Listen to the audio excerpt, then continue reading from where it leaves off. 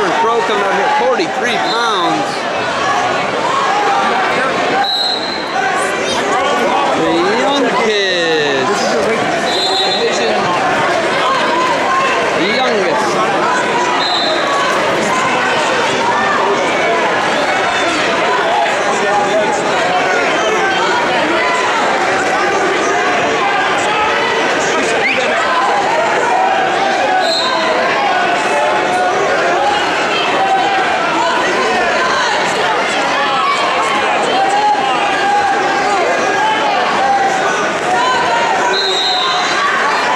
So the are on the little, little, smallest kids in the division.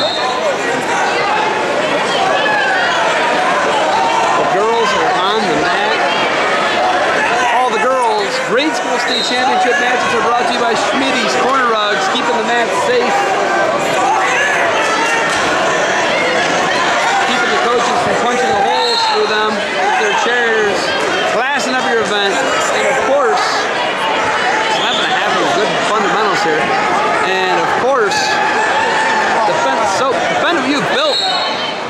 soap.